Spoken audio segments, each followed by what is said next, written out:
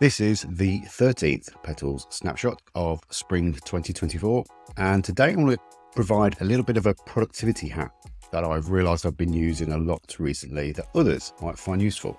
So, as a line manager, I have many one to ones with my teammates and others, but it's more relevant to the people that I manage.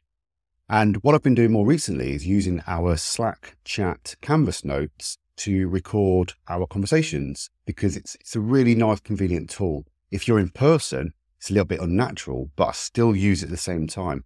Obviously, we have a lot of conversations in Slack, whether we're at home or in the office or whatever. Um, so we have got the reference point from the last couple of weeks just to know what we've done, what's been going on. Uh, we can pin little actions or conversations that we want to bring up in person when we actually have those conversations. And then what you can do in Slack notes as well is just track actions as well. So you can quickly just do a, a square bracket action with a, an at name reference to assign it to someone. You get the little notification back in Slack as well. And then when you have those follow up conversations, if it's not been done, you've still got the audit trail of what we, we talked about doing. I found this quite useful as a line manager, especially when I'm managing over 10 people at times.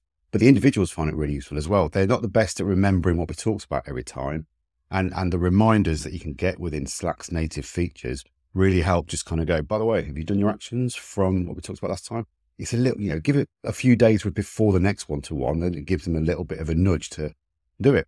So there we go. Nice little productivity hack for you today. Um, hopefully it's useful if you are a geek and you use Slack for a lot of your chat.